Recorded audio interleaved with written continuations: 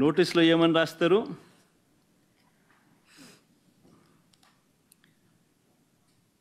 మాజీ ముఖ్యమంత్రి సభ్యులు వైఎస్ జగన్మోహన్ రెడ్డి గారు తిరుమల తిరుపతి సందర్శనకు సందర్శన ఉన్నందున సదరు కార్యక్రమానికి అనుమతి లేనందున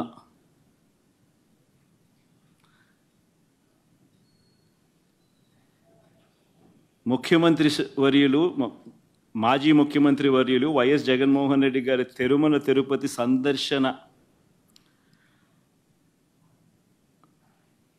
సందర్శనకు సదరు కార్యక్రమానికి అనుమతి లేనందున మీ ఆధ్వర్యంలో కార్యకర్తలతో మరియు మీ సొంత వాహనాలలో బయలుదేరి తిరుపతికి చేరుకుని వారు నిర్వహించే కార్యక్రమంలో పాల్గొంటారని సమాచారం. కావున అనుమతి లేని పై తెలిపిన కార్యక్రమం అందు పాల్గొనడం చట్టరీత్యా వ్యతిరేకమని తెలియజేస్తూ ఇవ్వబడుతున్న నోటీసు.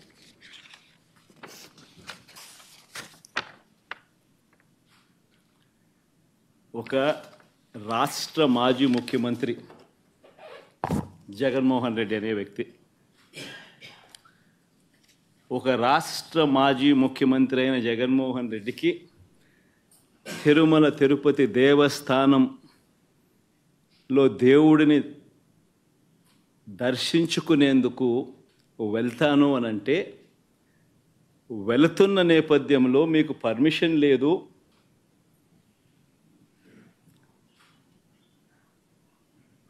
ఆ కార్యక్రమంలో ఎవరు పాలు పంచుకున్నా మీ అందరినీ అరెస్ట్ చేస్తాము అని గుడికి పోవడానికి పోతా ఉంటే నోటీసులు ఇస్తూ ఉన్నారు. నిజంగా ఆలోచన చేయమని అడుగుతా ఉన్నా. ఏ ప్రపంచంలో ఉండం? రాక్షస రాజ్యం కాదా ఇదని అడుగుతా ఉన్నా.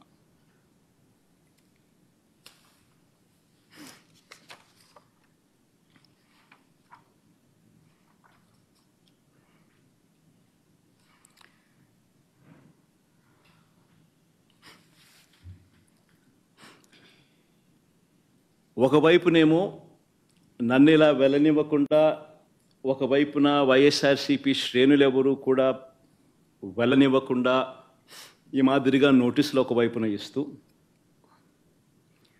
మరోవైపున టీవీలలో చూస్తే ఆశ్చర్యకరమైన విషయాలు. చుట్టుపక్కల రాష్ట్రాల నుంచి కూడా బీజేపీ వాళ్ళని తప్పిస్తున్నారు. మరి బీజేపీ పై వాళ్ళకు తెలుసో తెలీదో నాకైతే తెలియదు కానీ చుట్టుపక్కల వాళ్ళ దగ్గర నుంచి కూడా బీజేపీ వాళ్ళని కూడా అక్కడికి రప్పిస్తున్నారు. కొన్ని వేల మంది పోలీసులు అక్కడ మోహరించినట్టుగా చూపిస్తూ ఉన్నారు.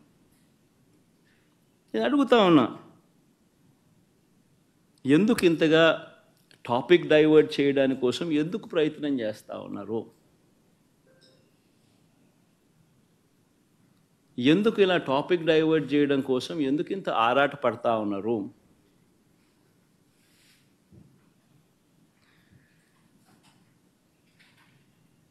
గమనించినట్లయితే తిరుపతి లడ్డూల విషయంలో తాను చెప్పినవన్నీ చంద్రబాబు చెప్పినవన్నీ అబద్ధాలు అని ఒక్కొక్కటిగా రుజువవుతూ కనిపిస్తూ ఉన్నాయి.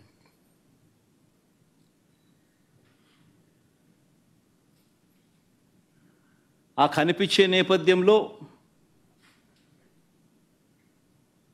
వంద రోజుల పాలన మీద టాపిక్ డైవర్ట్ చేస్తూ లడ్డూల టాపిక్ తీసుకొచ్చాడు. ఆ లడ్డూల టాపిక్లో చంద్రబాబు నాయుడు అడ్డగోలుగా తప్పు చేసి గుడి పవిత్రతను దెబ్బతీస్తూ అడ్డగోలుగా దొరికి దొరికిపోయేసరికి మళ్ళీ ఈ టాపిక్ను డైవర్ట్ చేసేందుకు లడ్డూల టాపిక్ను డైవర్ట్ చేసేందుకు కొత్తగా ఇప్పుడు డిక్లరేషన్ టాపిక్ తీసుకొచ్చి మళ్ళీ అది ఇంకొక రాజకీయం చేస్తూ ఉన్నారు ఒకసారి గమనించినట్టయితే తిరుమల పవిత్రతను స్వామివారి ప్రసాదం విశిష్టతను తిరుమల పవిత్రతను స్వామివారి ప్రసాదము విశిష్టతను తిరుమల తిరుపతి దేవస్థానం పేరు ప్రఖ్యాతలను.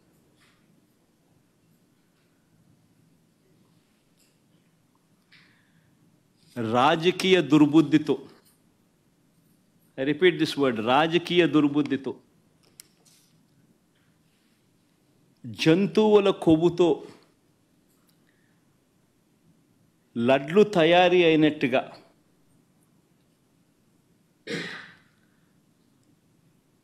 ఒక జరగని విషయాన్ని జరిగినట్టుగా ఒక జరగని విషయాన్ని జరిగినట్టుగా ఆ కల్తీ ప్రసాదాన్ని భక్తులు తిన్నట్టుగా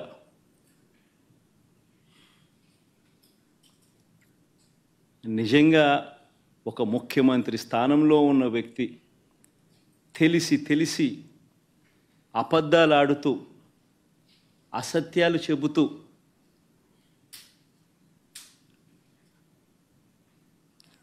స్వామివారి పేరు ప్రఖ్యాతలను.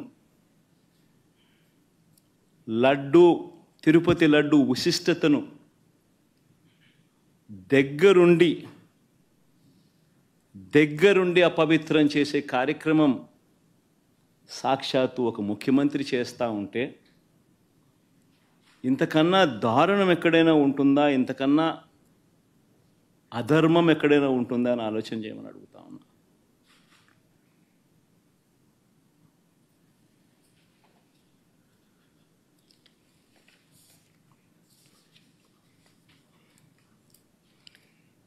ఒకసారి వీటికి సంబంధించిన విషయాలు మరొక్కసారి పునరుద్ఘాటిస్తా. ఏ రకంగా చంద్రబాబు నాయుడు గారు అనే వ్యక్తి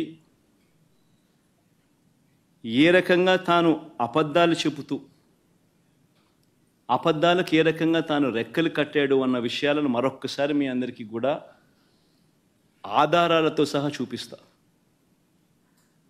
రాష్ట్ర ప్రజలందరికీ కూడా రాష్ట్ర ప్రజలే కాదు దేశ ప్రజలందరూ కూడా.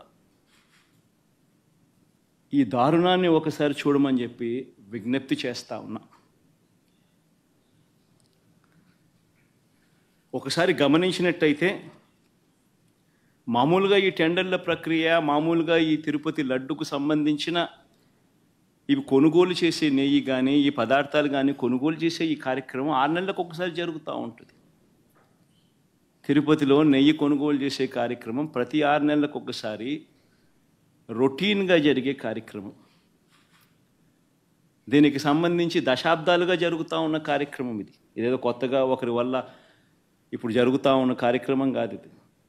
ఆరు నెలలకు ఒకసారి ఈ టెండర్లు పిలుస్తారు. ఆరు నెలలకు ఒకసారి ఈ టెండర్ల ద్వారా ఎవరైనా కూడా క్వాలిఫై అయితే ఎవరైనా కూడా పార్టిసిపేట్ చేయొచ్చు. ఈ క్వాలిఫికేషన్ క్రైటీరియా కూడా ఇప్పుడు ఏదో కొత్తగా పెట్టినవి అంతకన్నా కాదు. ఇవన్నీ రొటీన్గా దశాబ్దాలుగా జరుగుతూ ఉండేటివి. తిరుపతి లడ్డు అంటే విశిష్టత ఉంది.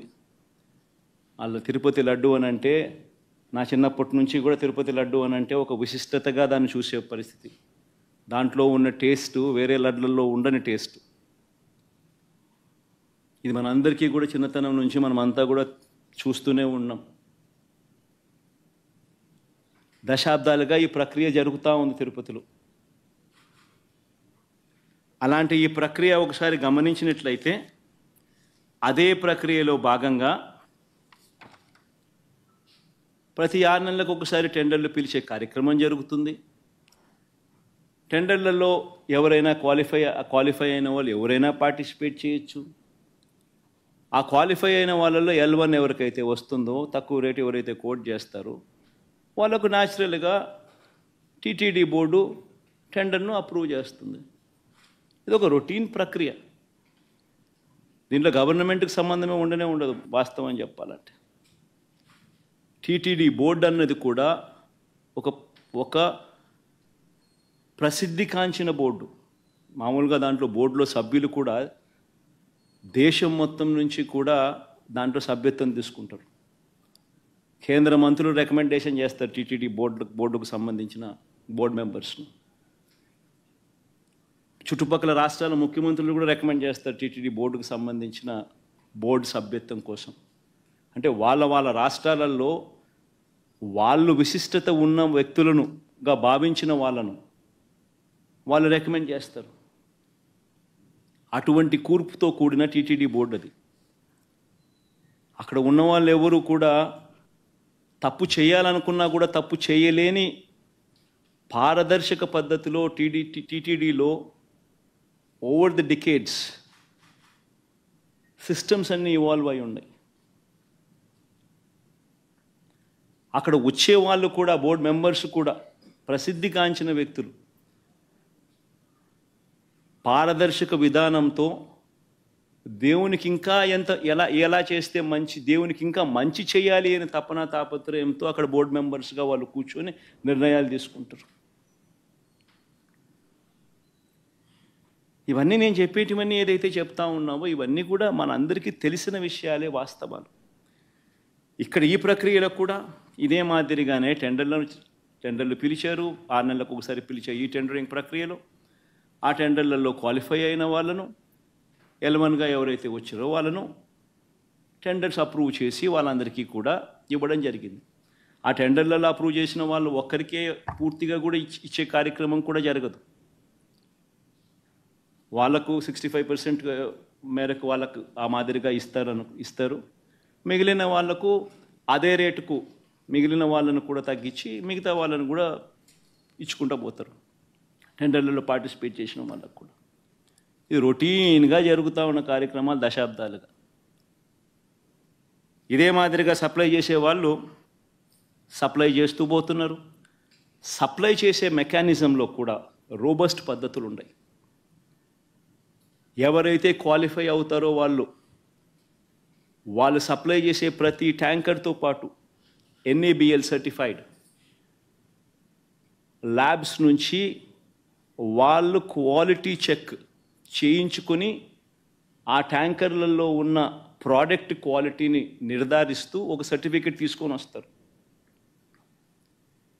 వచ్చిన తర్వాత ఆ ట్యాంకర్ ఆ ట్యాంకర్ ఆ సర్టిఫికెట్తో వచ్చిన తర్వాత కూడా తిరుమల తిరుపతి దేవస్థానంలో మళ్ళీ మూడు టెస్టులు మూడు శాంపుల్స్ చేస్తారు. ప్రతి ట్యాంకర్కు. This is a protocol mandatory protocol ఇది. ఆ మూడు టెస్టులు పాస్ అయితేనే ఏ వెహికల్ అయినా కూడా ముందుకు పోనిస్తారు. ఆ మూడు టెస్టులలో ఏ టెస్ట్ ఫెయిల్ అయినా కూడా అసలు వెహికల్ ముందుకు కూడా పోదు. తిరిగి వెనక్కి పంపించేస్తారు. ఈ ప్రక్రియ దశాబ్దాలుగా జరుగుతూ ఉంది. చంద్రబాబు నాయుడు గారి హయాంలో రెండు వేల పద్నాలుగు నుంచి పంతొమ్మిది మధ్యలో పద్నాలుగు నుంచి పదహైదు సార్లు చంద్రబాబు నాయుడు హయాంలో ఇలానే ట్యాంకర్లు వస్తే క్వాలిటీ లేదని రిజెక్ట్ చేశారు. వెనక్కి పంపించారు. పద్నాలుగు నుంచి పదహైదు సార్లు.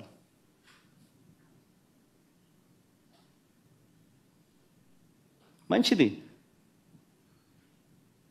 ఒక రోబస్ట్ ప్రక్రియ అన్నది ఒకటి ఉంది. తప్పులు ఎవడైనా చేయాలనుకుంటే తప్పులు చేసే అవకాశం లేని ఒక గొప్ప ప్రక్రియ ఒకటి తిరుపతిలో ప్రాక్టీస్లో ఉంది. సిమిలర్గా రెండు వేల పంతొమ్మిది నుంచి ఇరవై నాలుగు మధ్య వైఎస్ఆర్సీపీ రెజ్యూమ్లో కూడా పద్దెనిమిది సార్లు ఇదే మాదిరిగానే రిజెక్ట్ చేసి వెనక్కి పంపించారు. ఇవి నేను చెప్పినటివన్నీ కూడా అక్షర సత్యాలు.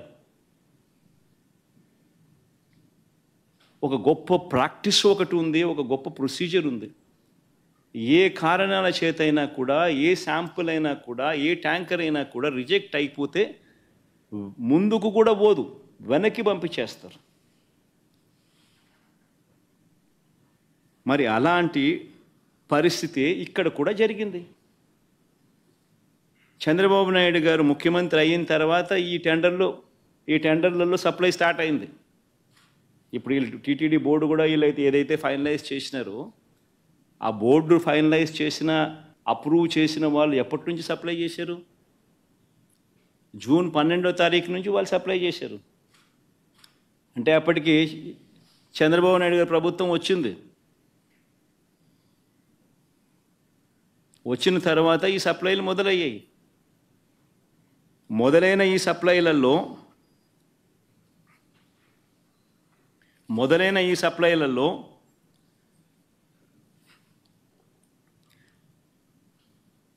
జూన్ పన్నెండు జూన్ ఇరవై ఒకటి జూన్ ఇరవై ఐదు జూలై నాలుగున వచ్చిన ట్యాంకర్లన్నీ టెస్టులలో పాస్ అయి ముందుకు కదిలాయి లడ్లలో ఉపయోగించారు. జూలై ఆరున రెండు ట్యాంకర్లు జూలై పన్నెండున ఇంకో రెండు ట్యాంకర్లు రావడము ఈ నాలుగు ట్యాంకర్లలో ఏదైతే వచ్చాయో అవి టెస్టులు ఫెయిల్ అయినాయి.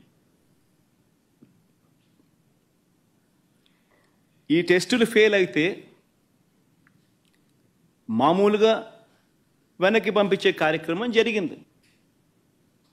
ఈ టెస్టులు ఫెయిల్ అయినప్పుడు ఈ మూడు టెస్టులు చేసిన తర్వాత వెనక్కి పంపించేదానికి పక్కన పెట్టేసి మామూలుగా CFTRI central food technological research institution institute మైసూరుకు పంపిస్తారు. డౌట్లు ఇంకా ఫర్దర్గా ఏమైనా ఒక్కొక్కసారి ర్యాండమ్గా కూడా పంపిస్తూ ఉంటారు ఫర్దర్గా ఏదైనా వెరిఫై చేసేదానికైనా కదా కానీ ఇక్కడ మాత్రం గుజరాత్కు పంపించారు ఎన్డీడీబీ ఫస్ట్ టైం టీటీడీలో జరిగిన ఘటన ఇది.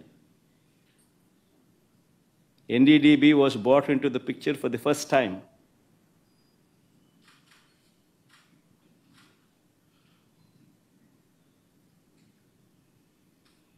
ఇప్పుడు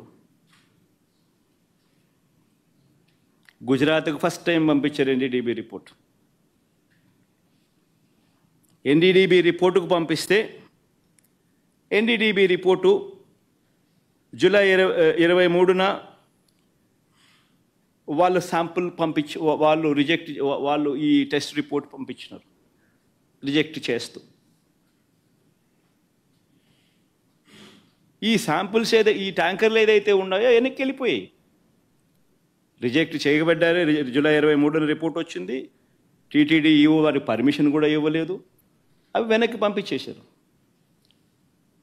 ఇవే విషయాలు వెనక్కి పంపించినట్టుగా ఆ కంపెనీ వాళ్ళకు షోకాస్ నోటీసులు కూడా ఇచ్చారు.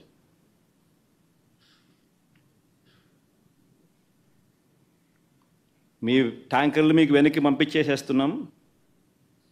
పంపించడంతో పాటు మీకు షోకాస్ నోటీస్ కూడా ఇస్తున్నాము అని చెప్పి కూడా ఇచ్చారు. సో నేను అడుగుతా ఉన్నా వాడని మెటీరియల్ వాడని నెయ్యి క్లియర్గా వాడని నెయ్యి అని చెప్పి క్లియర్గా తెలుస్తూ ఉన్నా. ఆ నెయ్యి వాడకంలో వాడలేదు అని తెలుస్తూ ఉన్నా. చంద్రబాబు నాయుడు గారు ఉద్దేశపూర్వకంగా ఎందుకు ఆ నెయ్యి వాడారు అని రెండు నెలల తర్వాత సెప్టెంబర్ పద్దెనిమిదో తారీఖున ఎందుకు అన్నాడు?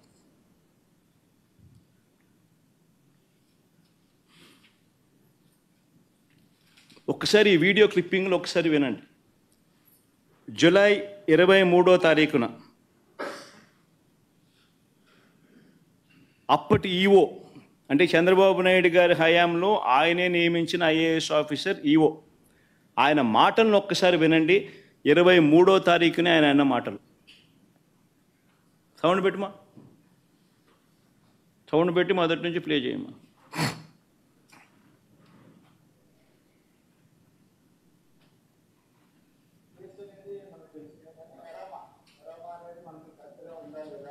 క్వాలిటీ లేకపోతే మేము మేము ఏదో చర్యలు తీసుకుంటాం కొందరు మేనేజ్మెంట్ వాళ్ళు వచ్చారు ఒక్కొక్కరు మాట్లాడుకుంటాం చెప్పిన తర్వాత కొంతమంది ఇంప్రూవ్ చేశారు.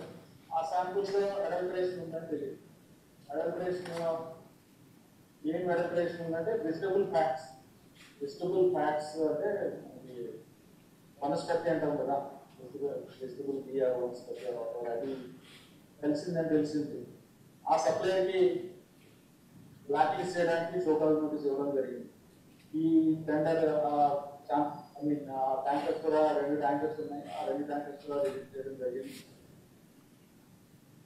ఆ రెండు ట్యాంకర్లను కూడా రిజెక్ట్ చేయడం జరిగింది. షోకాస్ నోటీస్ ఇవ్వడం జరిగింది. వనస్పతి ఆయిల్ అడల్టరేషన్ చేసినారని కూడా ఆయన అన్నాడు. మరి క్లియర్ కట్గా ఇరవై మూడో తారీఖునే జూలై ఇరవై మూడో తారీఖునే ఈఓ వెరీ క్లియర్గా వాడకంలోకి ఇది తీసుకొని రావలే రాలేదు అని చెప్పి ఇంత క్రిస్టల్ క్లియర్గా చెప్పినా కూడా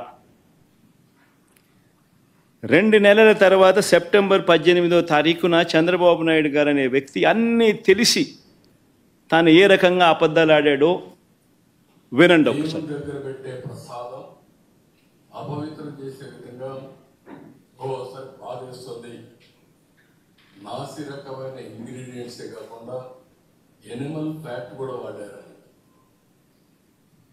ఏది? గీకు బదులు. గీకి బదులు యానిమల్ ఫ్యాట్ కూడా వాడారని లడ్లు తయారయ్యాయని భక్తులకు పంచారని భక్తులు తిన్నారని ఏకంగా సాక్షాత్తు ఒక ముఖ్యమంత్రి అన్నీ తెలిసిన వ్యక్తి అబద్ధాలు ఆడడం. మళ్ళీ సెప్టెంబర్ మళ్ళీ సెప్టెంబర్ ఇరవయో తారీఖున ఈఓ మళ్ళీ ఇచ్చిన ఇంటర్వ్యూ.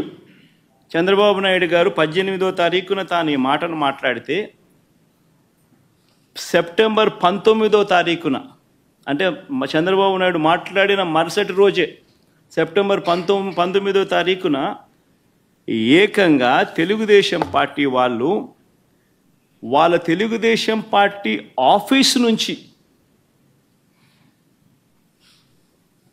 ఈ ఎన్డీడీబీ గుజరాత్ నుంచి తెప్పించిన ఈ కాన్ఫిడెన్షియల్ రిపోర్టును రిలీజ్ చేస్తారు తెలుగుదేశం పార్టీ ఆఫీస్ నుంచి. సెప్టెంబర్ పంతొమ్మిదో తారీఖున అంటే చంద్రబాబు నాయుడు పద్దెనిమిదో తారీఖున మాట్లాడతాడు అబద్ధాలు వల్ల వేస్తూ.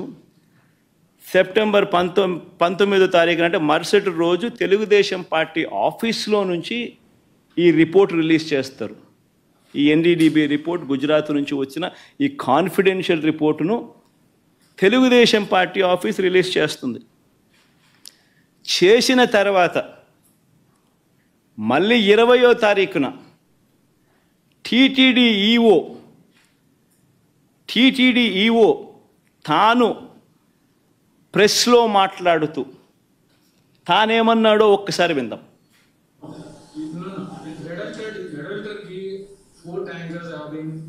Kept aside, and then they were kept aside so that they can be used when the reports come, come clear.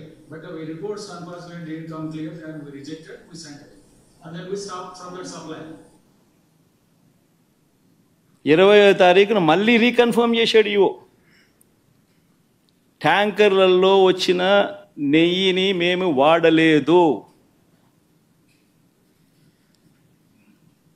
ఆ రిపోర్ట్స్ సరిగ్గా రాని నేపథ్యంలో ఆ రిపోర్ట్స్ను ఆధారంగా ఆ ట్యాంకర్లను వెనక్కి పంపించేశాము అని మళ్ళీ రీటరేట్ చేసినాడు.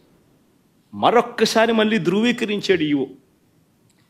ఇవ్వడమే కాక అఫీషియల్గా సెప్టెంబర్ ఇరవై రెండో తారీఖున ఇరవయో తారీఖున ఆ మాట చెప్పాడు. ఇరవై రెండో తారీఖున ఏకంగా ఈవో తాను సంతకం చేసి ఇది ఈవో సంతకం.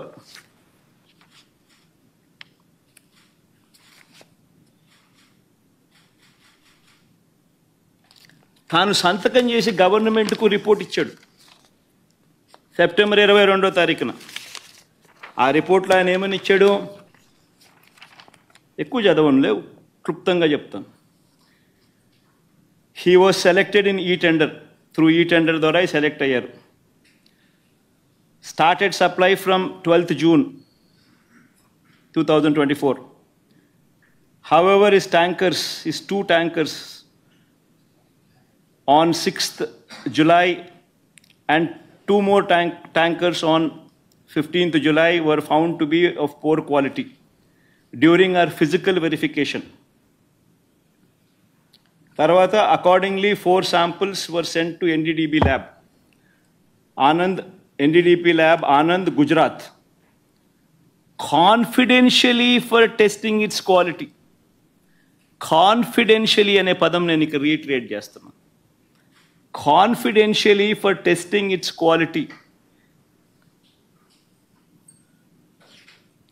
The report was received on 16th July and 23rd July.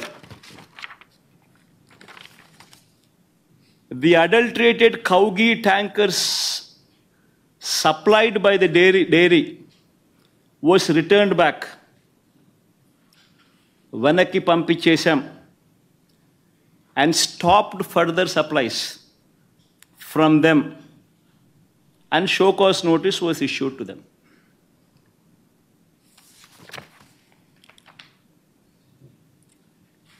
నేను అడుగుతా ఉన్నా confidential report Telugu Desam party office September పంతొమ్మిదో తారీఖున రెండు నెలల తర్వాత తెలుగుదేశం ఆ పార్టీ ఆఫీస్ నుంచి రిలీజ్ చేస్తారు. ఈ గుజరాత్ నుంచి వచ్చిన ఈ ఎన్డీడీబీ రిపోర్ట్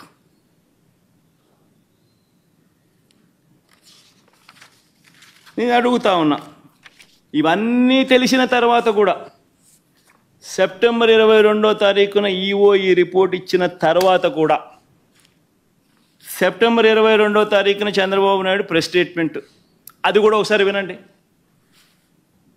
ఇక్కడికి వచ్చినప్పుడు నాలుగు ట్యాంకర్స్ అప్పటికే నాలుగు ట్యాంకర్స్ వచ్చేసి వాడారు అంటే చంద్రబాబు నాయుడు ఇంత రిపోర్ట్ వచ్చిన తర్వాత ఈఓ ఇన్నిసార్లు స్టేట్మెంట్ ఇచ్చిన తర్వాత ఇంత చెప్పిన తర్వాత కూడా ఇరవై రెండో తారీఖున చంద్రబాబు నాయుడు మళ్ళా ప్రెస్ మీట్ పెట్టి ట్యాంకర్లు వచ్చేసాయి దాన్ని వాడేశారు. అని మళ్ళా అబద్ధాలు ఆడుతూ మళ్ళీ చెప్తాడు. నేను అడుగుతా ఉన్నా ముఖ్యమంత్రి స్థానంలో ఉన్న వ్యక్తి కేవలం రాజకీయంగా లబ్ధి పొందేందుకు కేవలం రాజకీయంగా లబ్ధి పొందేందుకు ఈ మాదిరిగా స్వామివారి ప్రసాదం విశిష్టతను తిరుమల తిరుపతి దేవస్థానం ప్రతిష్టను వెంకటేశ్వర స్వామి ప్రసాదపు ప్రసాదానికి సంబంధించిన పేరు ప్రఖ్యాతలను ఈ మాదిరిగా అబద్ధాలతో తగ్గించడం కుట్రపూరితంగా అబద్ధాలతో తగ్గించడం.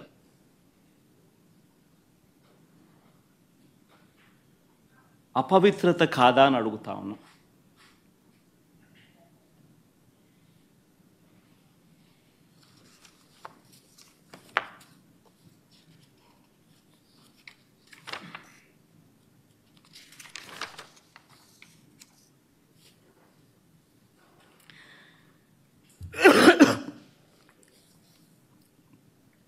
నా ఎన్డీడీపీ రిపోర్ట్ ఉందమ్మా.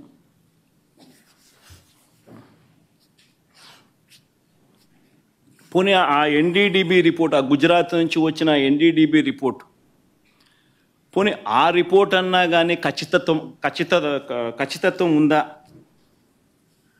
ఆ రిపోర్ట్ అయినా ఖచ్చితమైన రిపోర్టా?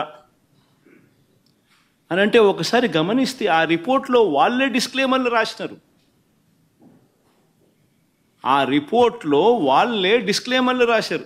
ఆ రిపోర్ట్ ఒకసారి కూడా చూపించు తప్పే ఆ రిపోర్ట్ డిస్క్లైమర్ చూపించు ఆ రిపోర్ట్ టెలికాస్ట్ చే పెట్టండి. ఆ. రిపోర్ట్లో వాళ్ళే డిస్క్లైమర్ రాశారు. ఏమని రాశారు?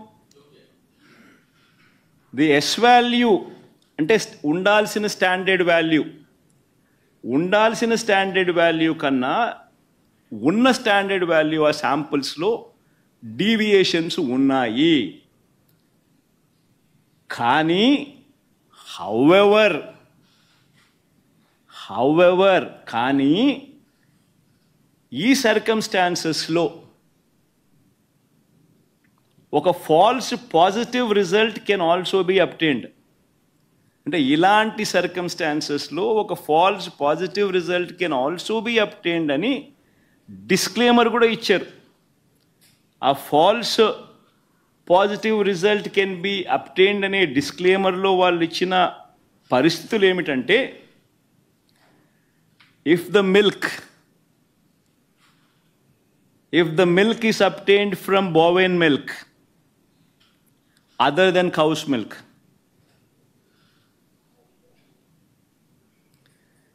if the milk is obtained from cows which received an exceptionally high feeding high feeding of pure vegetable oils such as repressed oil cotton or palm oil etcetera అంటే ఈ శాంపుల్ గన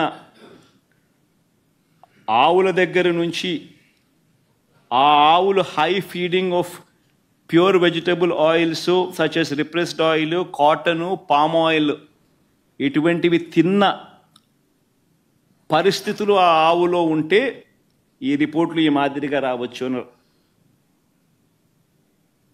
అని కూడా చెప్పడం జరిగింది. ఆర్ ఇటువంటి రిపోర్టు ఏదైనా ఆవు cow suffering from serious under feeding.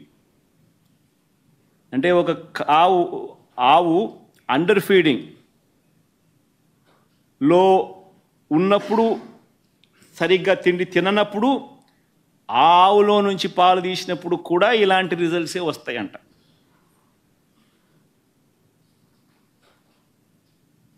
ఇవన్నీ రిపోర్ట్లో వాళ్ళు డిస్క్లేమర్స్ కింద రాసినారు. ఇదేదో ఖచ్చితమైన రిపోర్టా అంటే అది కాదు. మరి ఇవన్నీ తెలిసి చంద్రబాబు నాయుడు కావాలని అబద్ధాలాడుతూ తిరుపతి వెంకటేశ్వర స్వామి వారి విశిష్టతను ప్రసాదపు ప్రసాదానికి సంబంధించిన పవిత్రతను దగ్గర ఉండి కావాలని అబద్ధాలు చెప్పి అనుమానపు బీజాలు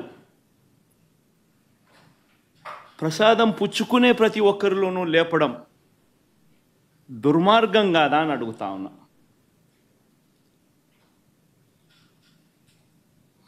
అపవిత్రం కాదా అని అడుగుతా ఉన్నా.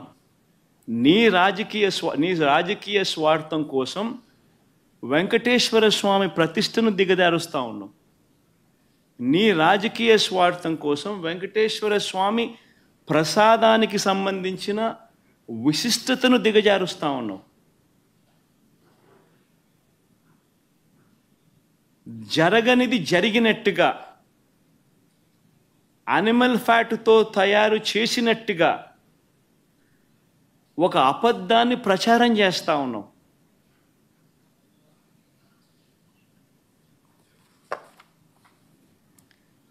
ధర్మమేనా అని అడుగుతా ఉన్నా. మరోవైపు ఇంకా ఇలా అబద్ధాలు రోజుకు ఒక్కొక్కడు ఒక్కొక్క ఒక్కొక్క అబద్ధాన్ని ప్రమోట్ చేస్తారు. ఈ మధ్యకాలంలోనే ఇంకొక అబద్ధాలను వీళ్ళు ప్రమోట్ చేస్తూ నందిని బ్రాండ్ను కూడా వాడడం లేదని అంటాడు.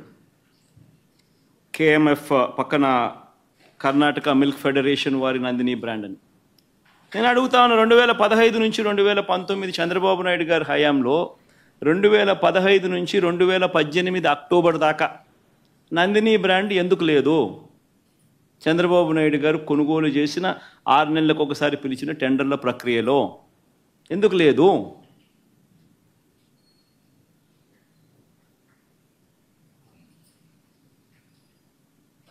నందిని వాళ్ళు కూడా అప్పుడప్పుడు పార్టిసిపేట్ చేస్తారు అప్పుడప్పుడు పార్టిసిపేట్ చేయరు. మన హయాంలో కూడా రెండు వేల పంతొమ్మిది తర్వాత మన హయాంలో కూడా నందిని వాళ్ళు అప్పుడప్పుడు పార్టిసిపేట్ చేశారు.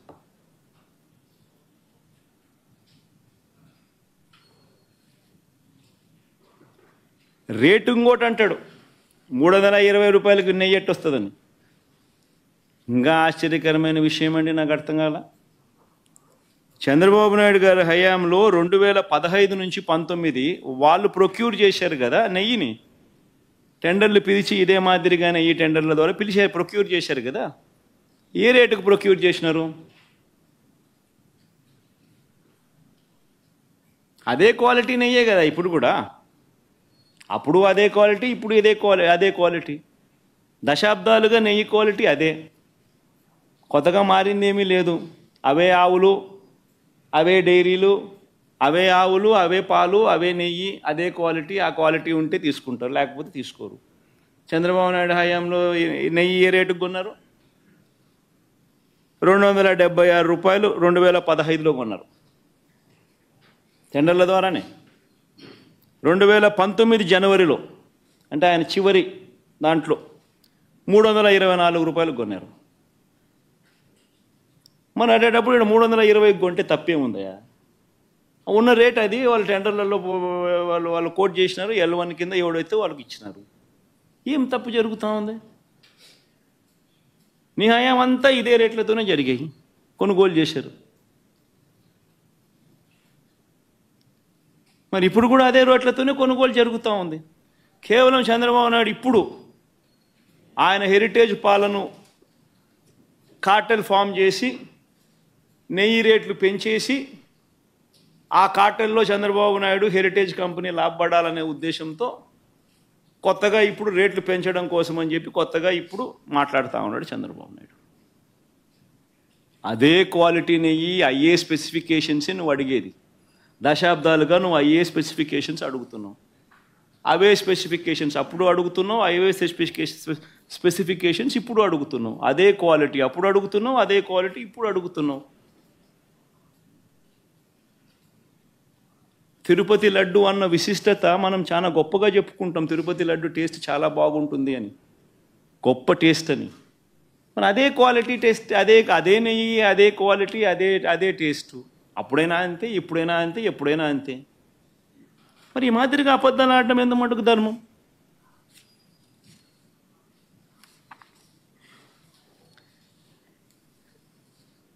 చంద్రబాబు గారి పాపాలు నిజంగా ఒక్కొక్కటిగా కూడా బయటకు వస్తా ఉన్న నే నేపథ్యంలో ప్రజలందరూ కూడా చంద్రబాబు నాయుడు గారిని వేలెత్తి చూపించే కార్యక్రమం జరుగుతూ ఉన్న నేపథ్యంలో చంద్రబాబు నాయుడు గారు ఈ మధ్యకాలంలోనే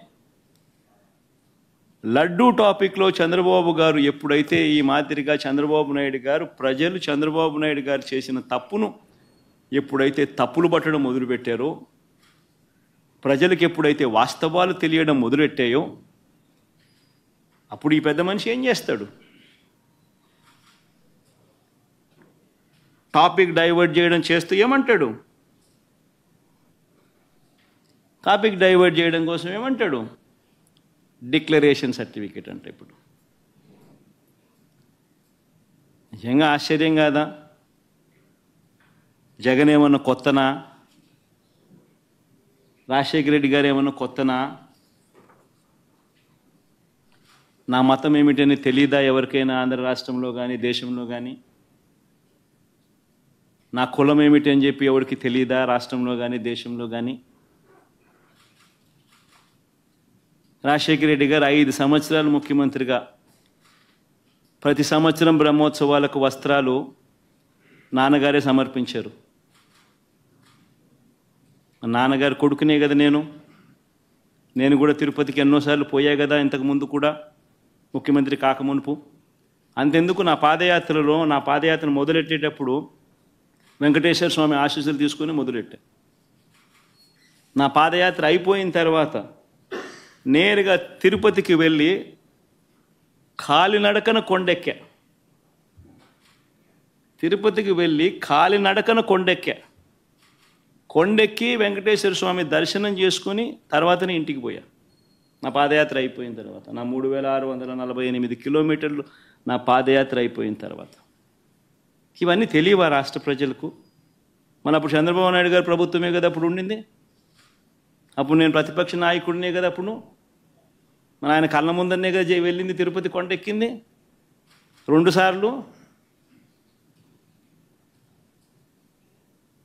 మళ్ళీ దాని తర్వాత నేను ముఖ్యమంత్రి అయినా. ఐదు సంవత్సరాలు తిరుపతి బ్రహ్మోత్సవాలకు దగ్గరుండి వస్త్రాలు నేనే సమర్పించా. నేనే సమర్పించాను వస్త్రాలను నెత్తిన పెట్టుకుని మోసుకుంటూ వెళ్ళి వెంకటేశ్వర స్వామి మీద భక్తి శ్రద్ధలు చూపిస్తూ వెంకటేశ్వర స్వామికి బట్టలు సమర్పించడం జరిగింది. నేను అడుగుతా ఉన్నా ఫస్ట్ టైం ఎవడన్నా పోతా ఉన్నప్పుడు నువ్వేదో ఇట్లా మాటలు మాట్లాడినా అర్థం ఉంది. పదిసార్లు పదకొండు సార్లు పోయిన తర్వాత ఈరోజు నేను తిరుపతి తిరుమల తిరుపతి దేవస్థానానికి నేను పోతానంటే నేను అడ్డుకుంటూ ఈ మాదిరిగా నువ్వు నోటీసులు ఇస్తూ ఈ మాదిరిగా తిరుమల తిరుపతి దేవస్థానానికి నేను పోకూడదు అని చెప్పి ఈ మాదిరిగా నోటీసులు ఇస్తూ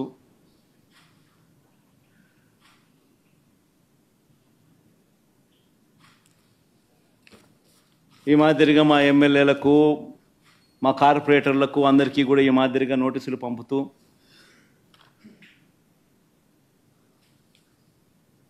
నేను అడుగుతా ఉన్నా. ఒక రాష్ట్ర ముఖ్యమంత్రి. ఇంకా ఐదు సంవత్సరాలు బ్రహ్మోత్సవాలలో తిరుమల తిరుపతి దేవస్థానానికి వస్త్రాలు సమర్పించిన నేను. ఇన్నిసార్లు తిరుమల తిరుపతి దేవస్థానానికి వెళ్ళిన నేను. ఈరోజు తిరుమల తిరుపతి దేవస్థానానికి నేను రాకూడదట పోకూడదట. కారణం ఏమిటంటే నా మతమట. నేను అడుగుతా ఉన్నా నా మతం ఏమిటి నా మతం ఏమిటి అని అడుగుతా ఉన్నారు నేను అడుగుతా ఉన్నా నా మతం ఏమిటని. అవును. నాలుగు గోడల మధ్య నేను బైబిల్ చదువుతాను. తప్పేముంది బయటికి పోతే హిందూ సాంప్రదాయాలను నేను అనుసరిస్తాను గౌరవిస్తాను. బయటికి పోతే ఇస్లాంను అనుసరిస్తాను గౌరవిస్తాను. బయటికి పోతే సిక్కిజంను అనుసరిస్తాను సిక్కిజంను నేను గౌరవిస్తాను. నా మతం ఏమిటని అడుగుతా ఉన్నారు? నా మతం మానవత్వం. డిక్లరేషన్లో రాసుకుంటానేమో రాసుకోండి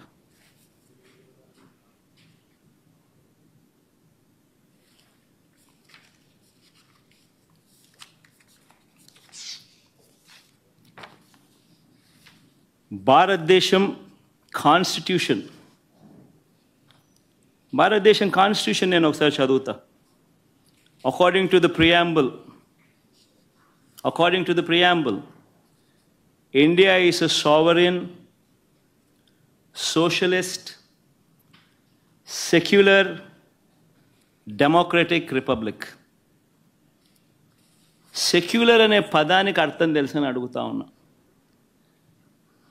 గుడికి పోయే వ్యక్తిని నువ్వు ఏ మతము అని అడుగుతా ఉన్నావు? ఏ మతము అని చెప్పకపోతే గుడిలోకి ఎంటర్ కాకూడదు అని అంటా ఉన్నావు. సెక్యులర్ దేశం అని చెప్పి చెప్పుకుంటా ఉన్నాం. ఒక ముఖ్యమంత్రి స్థానం ముఖ్యమంత్రిగా పరిపాలన చేసిన వ్యక్తి పరిస్థితి ఇదే అయితే ఇక ఆ దళితుల పరిస్థితి ఏమిటి? గుళ్ళలోకి పోగలుగుతారా? పోయే పరిస్థితి ఉందా?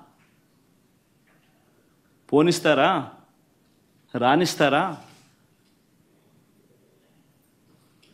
ఏం చేస్తా ఉండు? నిజంగా రాజకీయాల్లో మతం పేరుతో రాజకీయాలు చేయడం ఎంత దౌర్భాగ్యమో.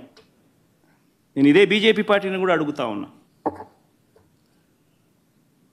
బీజేపీ పార్టీ గొప్పగా చెప్పుకుంటుంది హిందూయిజానికి మేమే మేమే హిందూయిజానికి మేమే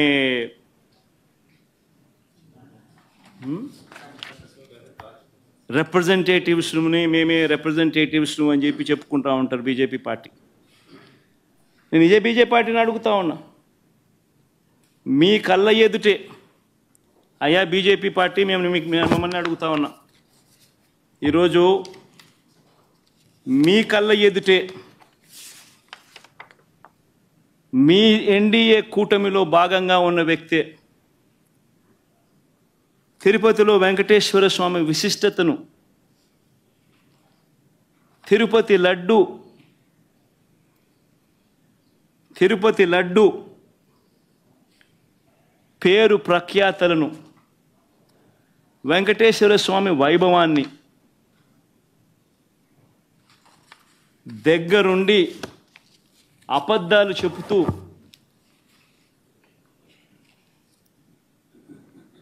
అనిమల్ ఫ్యాట్ వాడకపోయినా కూడా వాడినట్టుగా లడ్డూలు తయారైనట్టుగా ఇన్ని ఆధారాలతో సహా రుజువు అవుతా ఉన్నా కూడా అబద్ధాలతో దుష్ప్రచారం చేసి తిరుమల తిరు తిరుమల తిరుపతి వెంకటేశ్వర స్వామిని అపవిత్రం చేసిన ఈ చంద్రబాబు నాయుడు గారిని ఎందుకు మీరు మందలించలేకపోతా ఉన్నారు? ఎందుకు మీరు వెనకేసుకో వెనకేసుకొని వస్తూ ఉన్నారు? హిందూయిజంకు మీరే టార్చ్ బేరర్స్ అని చెప్పుకుంటారు. అంటే మీ వాళ్ళు ఏం చేసినా కానీ పర్వాలే? మిగిలిన వాళ్ళు ఏం చేసినా కూడా తప్పే. ఇదెక్కడ హిందూయిజం? ఆలోచన చేయమని అడుగుతా ఉన్న ఈ సో కాల్డ్ హిందూయిజానికి టార్చ్ బేరర్స్గా చెప్పుకుంటా ఉన్న వీళ్ళందరినీ కూడా ఆలోచన చేయమని అడుగుతా ఉన్నా. నిజంగా హిందూయిజం అంటే ఏమిటి అని అంటే మానవత్వం చూపేదే హిందూయిజం. మానవత్వం చూపలేని వాళ్ళు ఎవరు కూడా నేను మంచి హిందువునని కూడా చెప్పుకునే కార్యక్రమం చేయలేరు.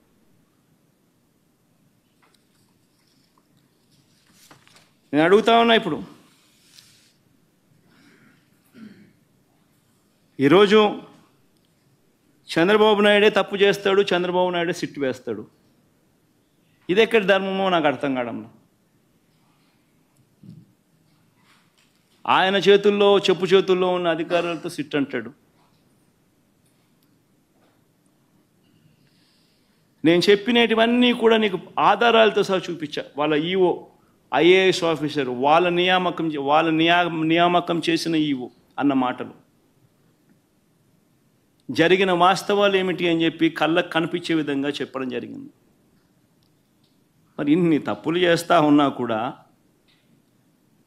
హిందూ ధర్మం మీద ఈ మాదిరిగా దుష్ప్రచారాలు చేస్తూ రాజకీయాల కోసం హిందూ ధర్మాన్ని వాడుకునే కుతంత్రాలు చేస్తూ ఈ మాదిరిగా రాజకీయాలు చేయడం కరెక్టేనా?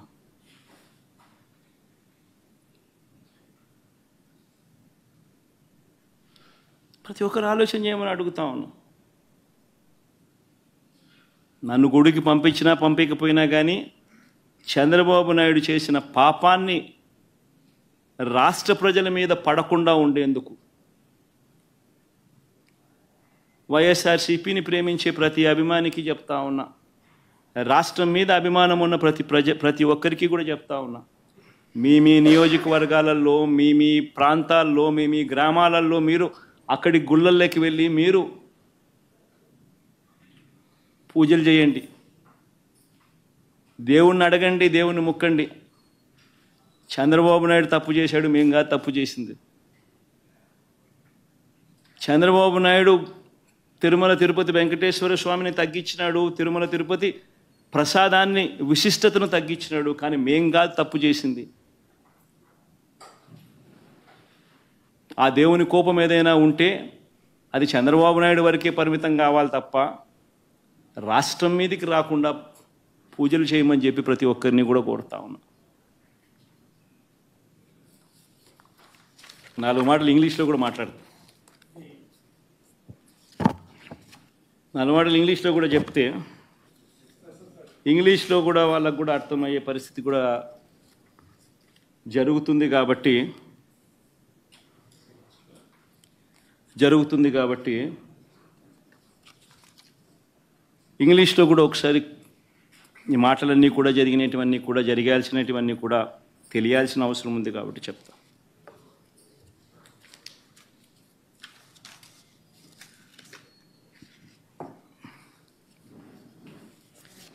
Never in the history of Andhra Pradesh, probably never in the history of this country, probably, we have ever witnessed such a situation. Where you actually have a situation where if somebody were to visit a temple, people have been barred from visiting temple.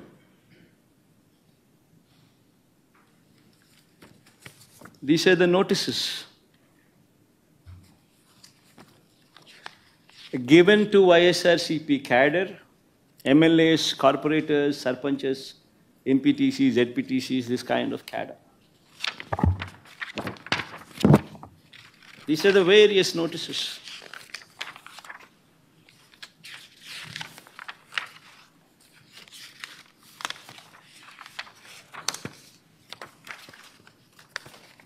Coming out from various districts.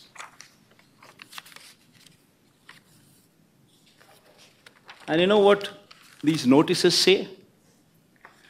They say, even though they've been give, even though uh, they are in Telugu, I would translate them into English for better understanding. The notices say that the ex-chief minister Y.S. Jagan Mohan Reddy is visiting Tirumala Tirupati Devasthanam and that program does not have the approval of the government and if any karyakarta participates in this program, cases would be booked on them. That is the gist of these notices.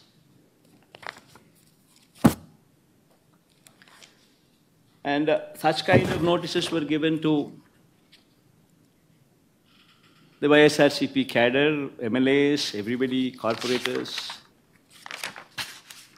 by cops.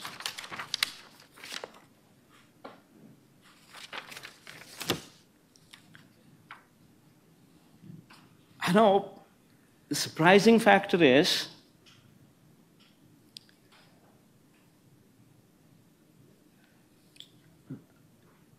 an ex chief minister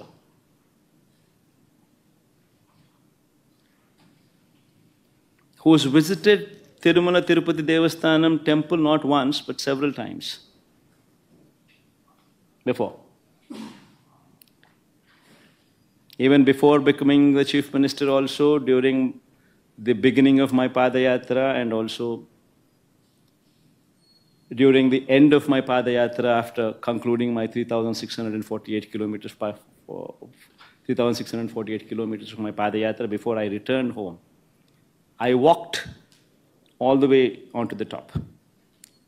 And Chandrababu Naidu was the chief minister then. Several times in the past, we visited Tirumala Tirupati Devasthanam, even before I became the chief minister. And after I became the chief minister, every year, TTD invited me. And on their invitation, I had the opportunity to give clothes to Lord Venkateshwara Swami. Every year. And today, to divert the topic from the deeds that have been committed, from the, by the, from the faults that have been committed by Chandrababu Naidu, they have brought up another topic onto the forefront, barring people from entering the temple.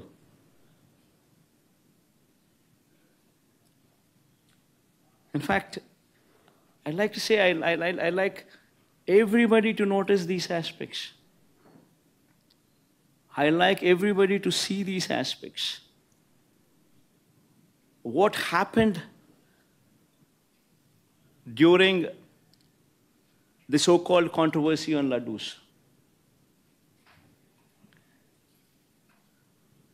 Tirumala Tirupati Devasthanam reputation has been lowered by Chandrababu Naidu.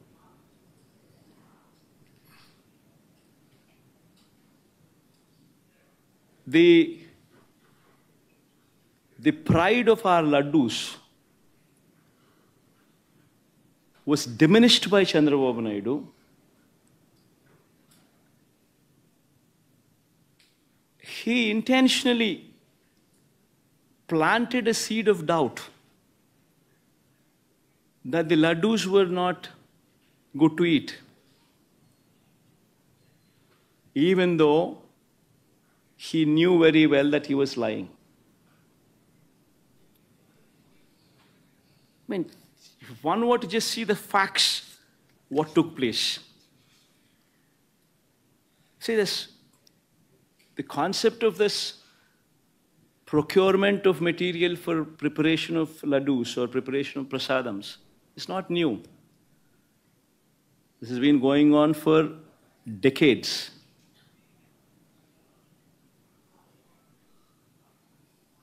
Tirumala Tirupati Devasthanam board is a very pristine board.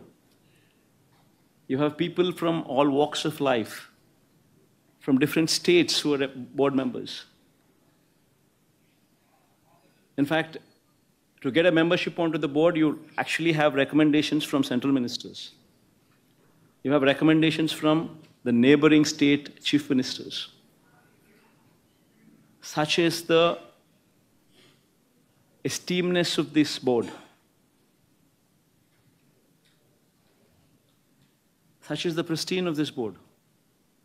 And these board members work there in a very transparent manner with the only intent to ensure that whatever they do, they do it for the good of the temple. With that motto in mind, they work.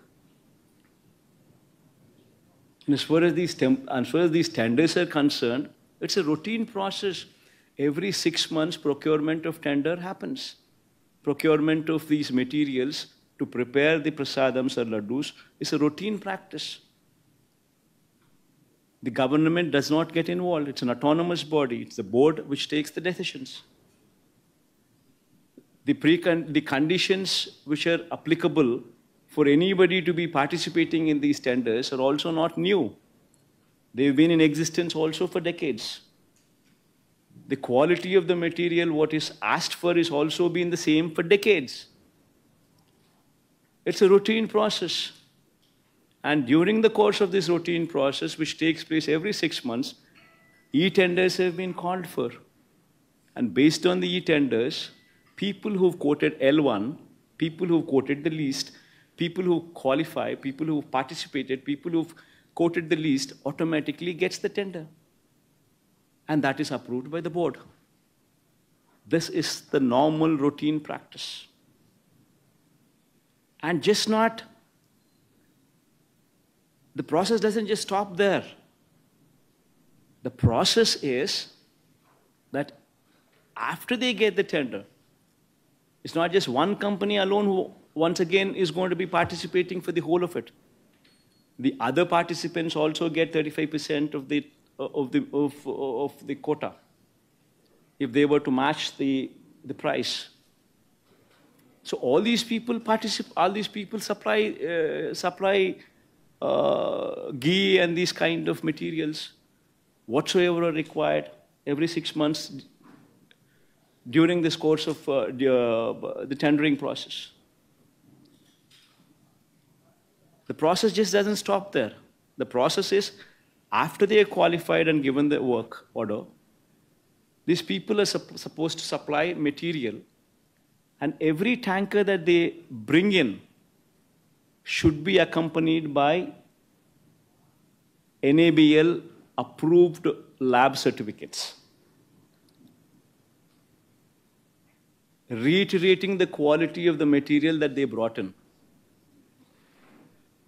It doesn't once again just stop there that they bringing in a certificate which is approved by NABL. After the tanker reaches TTD, Tirumala Tirupati Devasthanam, accompanied with this certificate. After that, the TTD conducts three tests. They conduct three tests for every tanker. Even if one test were to fail out of the three, the material is rejected. The tanker is not permitted to go ahead. Forget about the commodity, forget about the commodities being used in the preparation of laddus or prasadams. It is not even permitted to enter. It is rejected. This is a robust practice which is in existence for decades. Even during the regime of Chandrababu Naidu also, 14 times during 2014 to 19. 14 to 15 times tankers were rejected and sent back. And during our regime, during 2019 to 24, also, 18 times the tankers were rejected and sent back. In fact, this is something to be boasting about. That such is the robust practice which is in prevalence. That even if somebody were to do some mischief, they're not, the tanker is not even permitted to enter the, the premises. It is rejected even before it goes that far. That is the practice in Tirumala Tirupati Devasthanam. Such is the robustness of the testing practice which is prevalent there. And we should be boasting about such practices.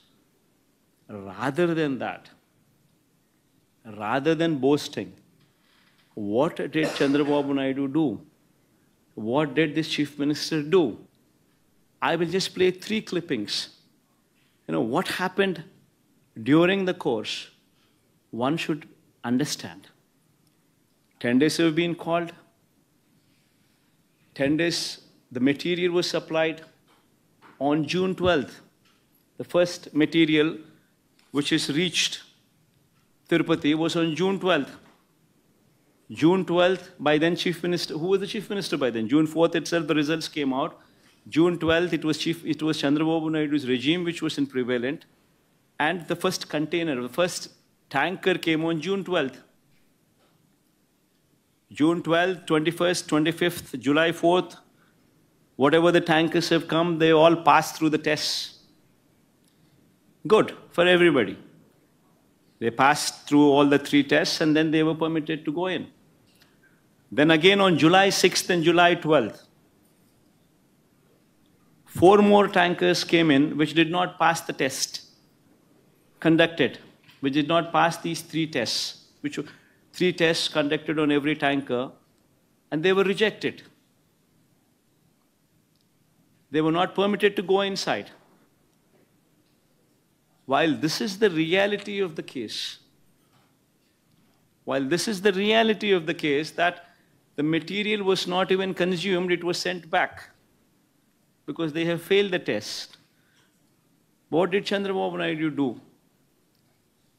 On July 6th and July 12th, the four tankers which came in, which did not pass the test, and which was sent back because they did not pass the test. This was reiterated by the Tirupati EO, who is an IAS officer posted by Chandrababu Naidu himself in his regime. And what did he say? See, these reports, which were rejected in three tests, which were rejected because the, they did not pass these three tests, were sent to NDDB, Gujarat.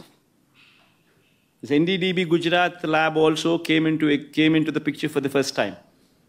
Usually, TTD does not, over the decades, never sent their sample all the way to Gujarat. Usually, the samples are sent to CFTRI, which is Central Food Technological Research Institute, Mysore. But for some strange reason, first time, NDDB Gujarat was brought into the picture. Fine. On 6th and 12th, when these tankers came and when they were rejected, these samples were once again sent to NDDB. On June, on uh, July uh, 17th, then July 23rd and 17th, they also received, July 23rd, they also received the results. While the tankers were never permitted to go inside, they were rejected. Now, while this is the reality that the tankers were not permitted to go in, the tankers were rejected, and a show cause notice was issued to the supplier that these tankers have been rejected and sent back, along with a show cause notice.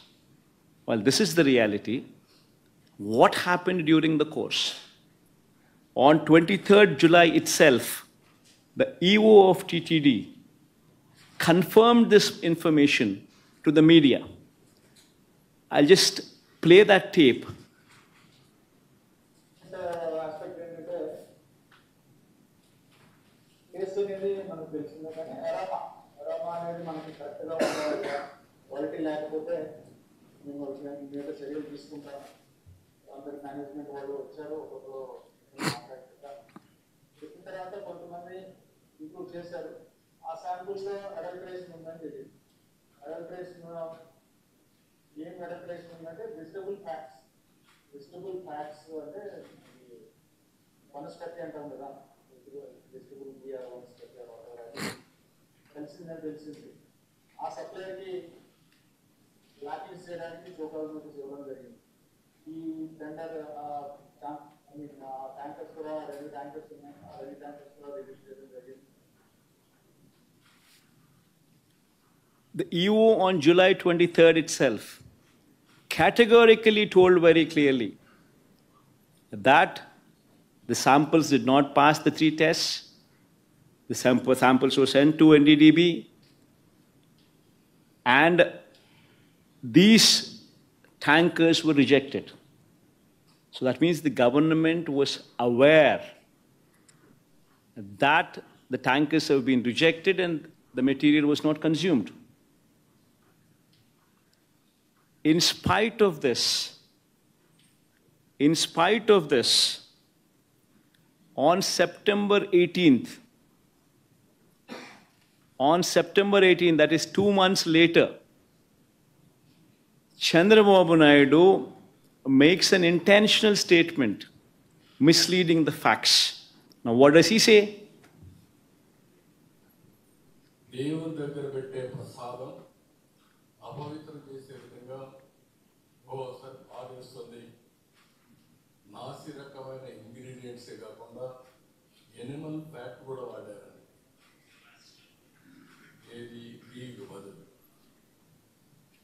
This man, Chandrababu Naidu, knowing very well that the material has been rejected, it did not even enter the premises of the TTD, yet this man callously, or rather intentionally,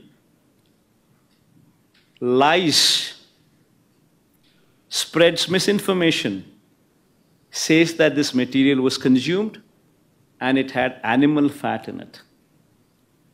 Now, what happens after that? After September 18th, September 19th, the so called confidential report, the so called confidential report from Gujarat, the NDDB report, the so called confidential report from NDDB Gujarat is released from Telugu Desam Party office on September 19th. And even in that report, there is a disclaimer which clearly says that this report is not accurate. This report very clearly says that this is the these are the S values, these are the standard values, and these are the deviations. However, these deviations could have taken place because of various factors such as these. That is the disclaimer. And in these disclaimers, they very clearly say that if at all the cow's milk is obtained from an exceptionally high feeding of pure vegetable oils, such as repressed oil, cotton, or palm oil, such deviation in S values could take place. If at all a sample is collected from cows suffering from serious underfeeding, also you will see deviations in S values. Also, you would find deviations if this milk is obtained from bovine milk other than cow's milk.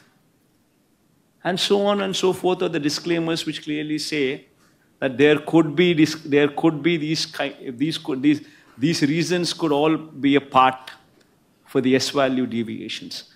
And Chandrababu Naidu, knowing very well, in spite of this report, in spite of these disclaimers, in spite of the fact, knowing very well that this irrespective of all these things, because these because this ghee did not pass through the three tests, was not even permitted to enter the TTD premises, and it was not consumed.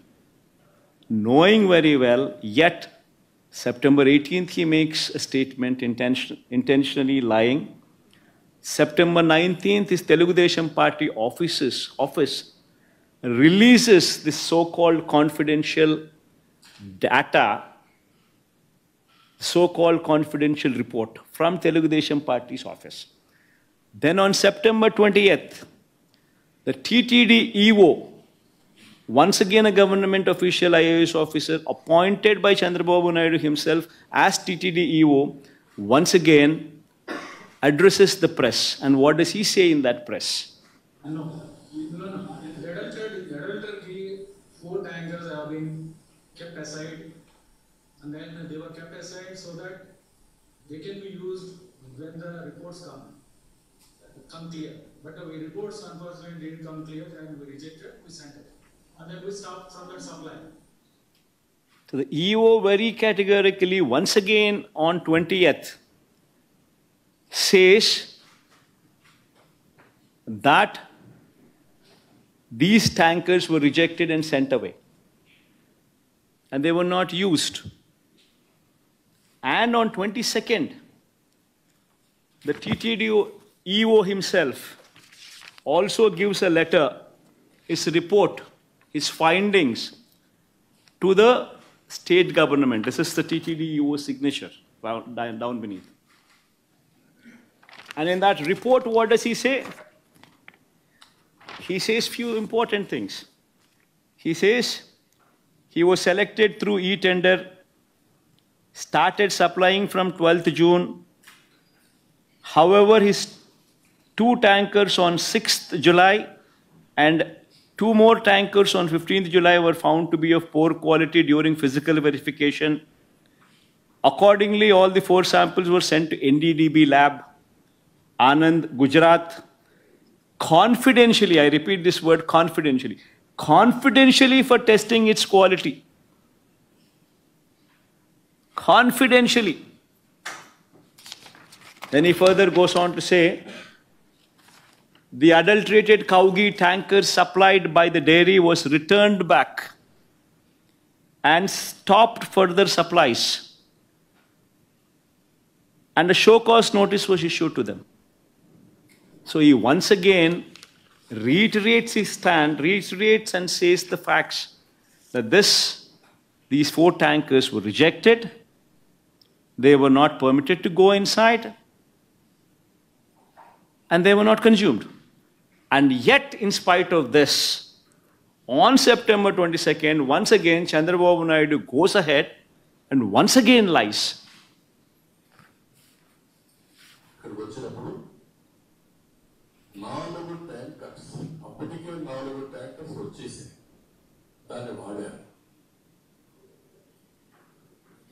On September 22nd, he once again reiterates his lies and says that this impure ghee was consumed. Now, a chief minister intentionally deviates from facts, knowing very well that these are the facts, deviates from facts intentionally lies. And how is it fair?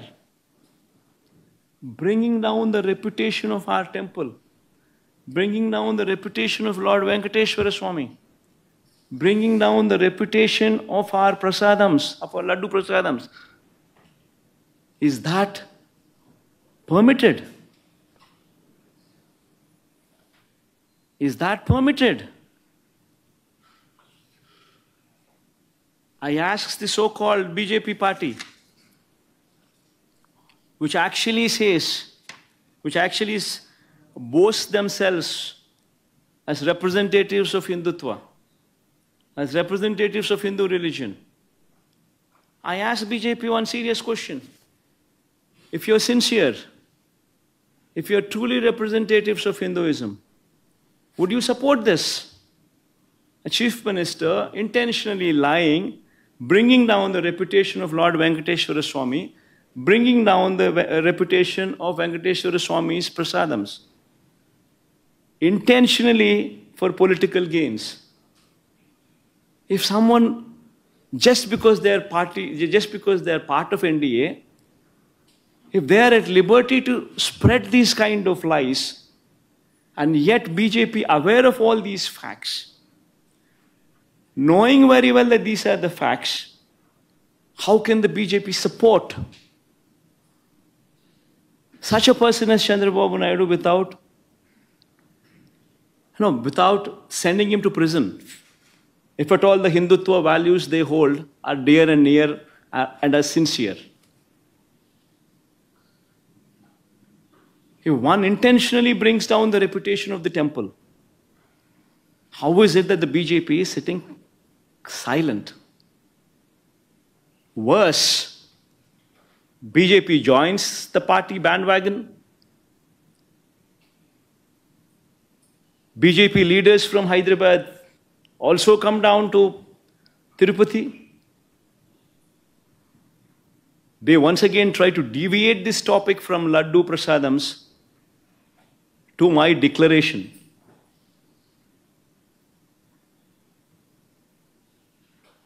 I seriously ask, all these people I ask, repeatedly these people say, What is my religion? I tell all these people, You want to know my religion? It's not new. Everybody in Andhra Pradesh knows who I am. Everybody in Andhra Pradesh, everybody in this country know who I, in this country, everybody knows who, I, who, I mean, who I am. Everybody knows who my father is. Who is my father?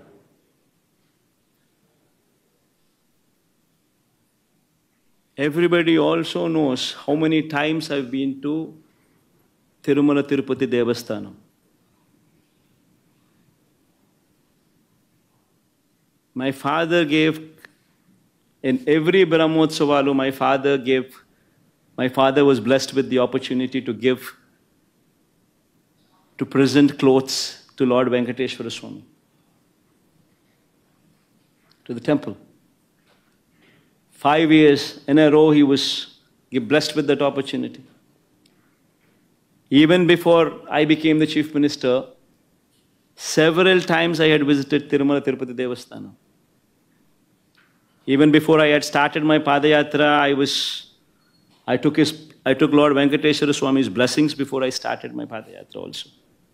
And even after my Padayatra, the conclusion, I had actually walked all the way to the top of the mountain, taken his blessings before my Padayatra could conclude. And later I became the chief minister. And five years, every Brahmotsavalu, I was blessed with the opportunity to present the clothes.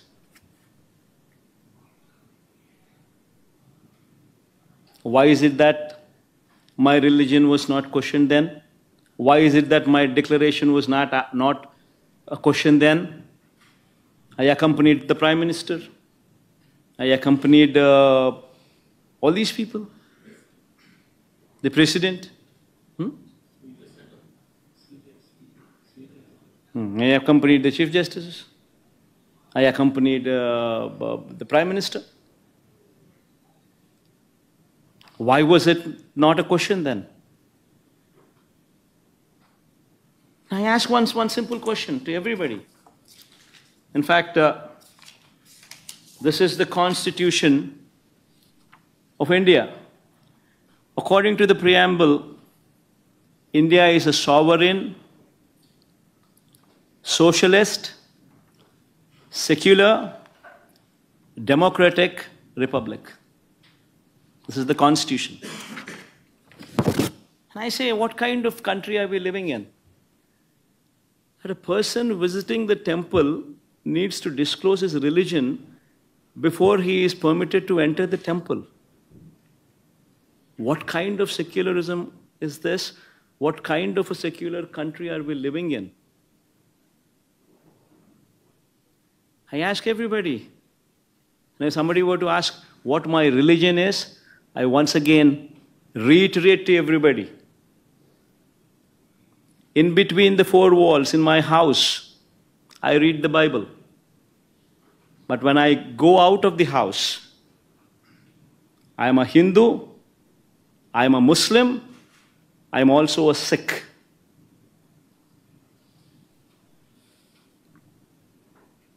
I practice their religion, I respect their religion. I am an Indian. Someone were to ask what my religion is, humanity is my religion. You want to have a declaration on that? Please go ahead and have that declaration as mine. Humanity is my religion. One should seriously start contemplating as to where they stand on secularism, what this country stands for. If someone like me, who has served as a chief minister, is given these kind of notices,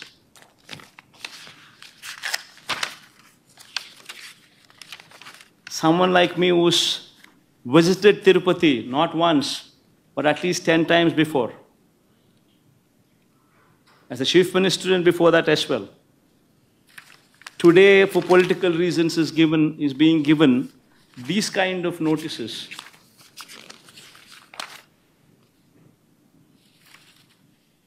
Barring somebody from entering the temple. What about the poor? What about the Dalits? Can they enter these temples? What kind of a message are we sending? What is BJP doing about it? Is this what they stand for? Right in front of their eyes, glaring evidence of Chandrababu Naidu misusing his power,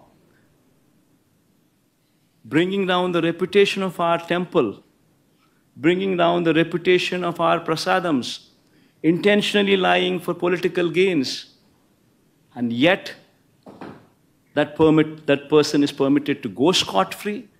BJP does not do anything about it, and yet they say they are representatives of Hindutva.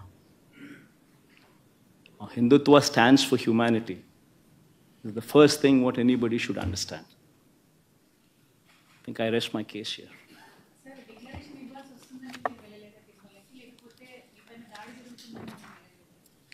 ఈ మాదిరిగా అందరికీ నోటీసులు ఇచ్చి ఈ మాదిరిగా నోటీసులలో వాళ్ళు రాసినది కూడా నేను చదివి వినిపించా కదమ్మా ఏమని రాసినారు ఈ నోటీసులో వాళ్ళు రాసినది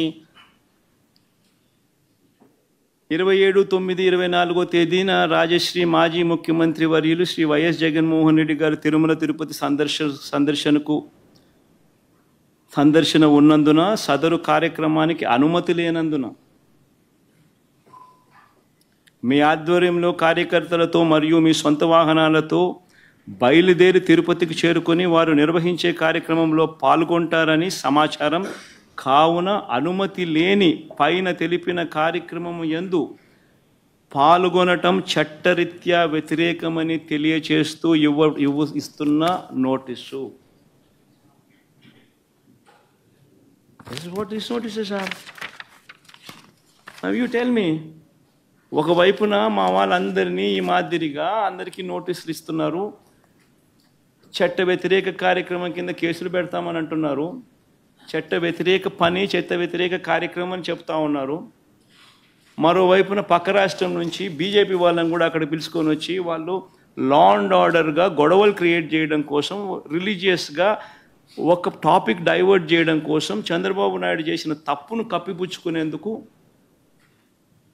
చంద్రబాబు నాయుడు చేసిన తప్పును కప్పిపుచ్చుకునేందుకు టాపిక్ డైవర్ట్ చేసేందుకు డిక్లరేషన్ అనే టాపిక్ ద్వారా రాజకీయంగా టాపిక్ డైవర్ట్ చేసేందుకు గొడవలు క్రియేట్ చేసేందుకు పక్క రాష్ట్రం నుంచి బీజేపీ వాళ్ళని పిలిపిస్తాడు.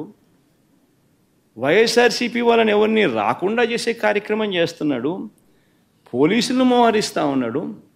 నేను అక్కడికి వెళ్ళి ఈ టాపిక్ డైవర్ట్ అయ్యేట్టుగా చెయ్యడం ఇష్టం లేక వెంకటేశ్వర స్వామిని ప్రేమించే వ్యక్తిగా గౌరవించే వ్యక్తిగా టాపిక్ డైవర్ట్ కాకూడదు అనే ఉద్దేశంతో తిరుమల తిరుపతి లడ్డును చంద్రబాబు నాయుడు ఏ రకంగా అగౌరవపరిచినాడు? తిరుమల తిరుపతి వెంకటేశ్వర స్వామిని చంద్రబాబు నాయుడు గారు ఏ రకంగా అబద్ధాలతో అవమానించి అగౌరవపరిచాడు?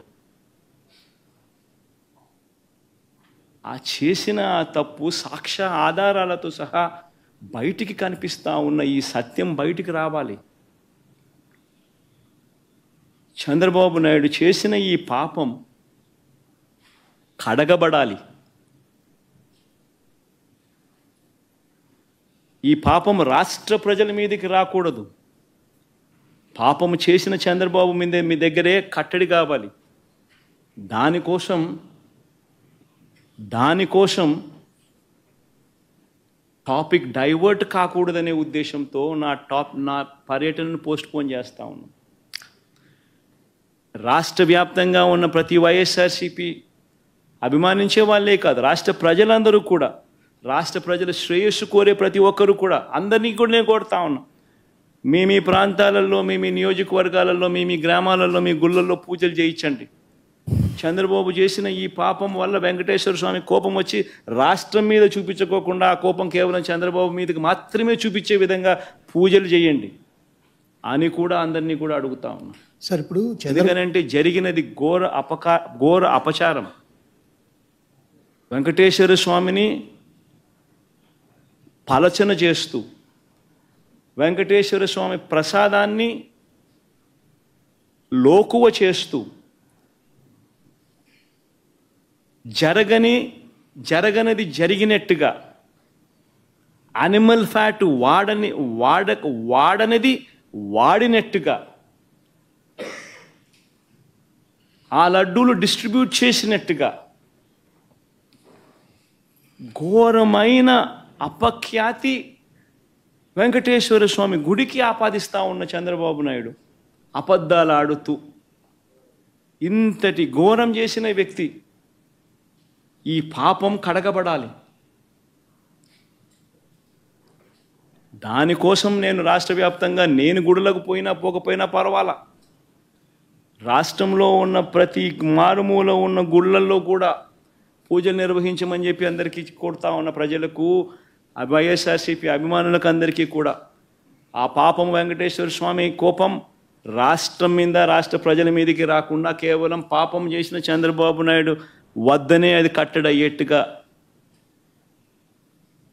దీనికోసం సార్ చంద్రబాబు కుట్ర కుట్ర చేశారు మీకు వ్యతిరేకంగా మిమ్మల్ని డిఫేమ్ చేయడానికని మీరు ప్రధానమంత్రి గారికి లెటర్ రాశారు.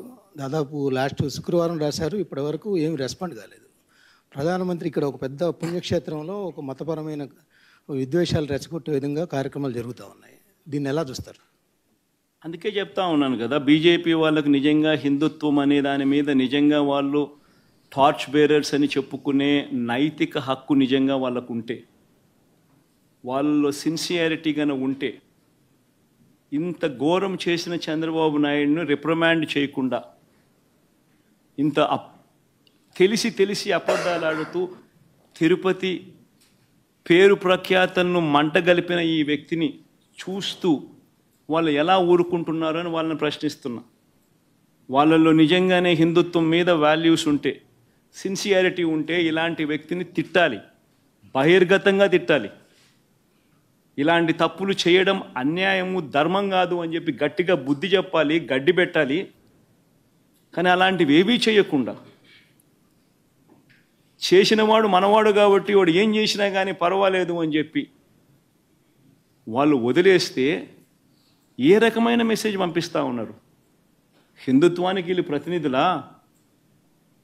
ఏ రకమైన మెసేజ్ పంపిస్తూ ఉన్నారు?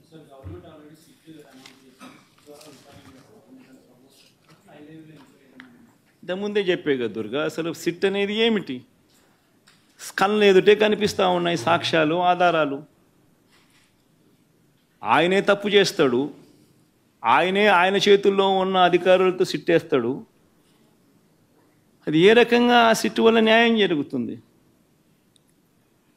కంటి కంటికి కనపడతా ఉన్న సత్యాలు ఇవన్నీ కూడా తప్పు చేసినాడని కనిపిస్తూ ఉన్న సత్యాలు కూడా.